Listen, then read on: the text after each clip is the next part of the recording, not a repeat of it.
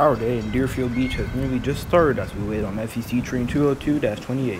Before 202 appears, the southbound Brightline train bound for Miami Airport rounds the curve.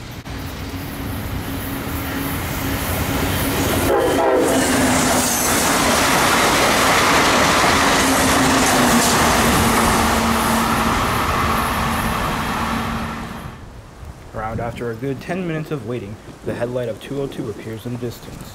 Today, he has an LNG set, which are two General Electric ES44C4s and an LNG tender.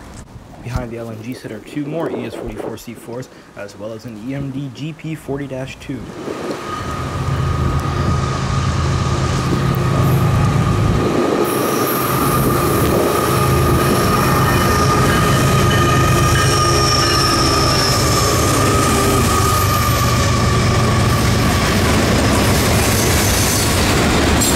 Unfortunately, it started raining, so I had to move my camera to the nearest area with cover, and that was the bridge.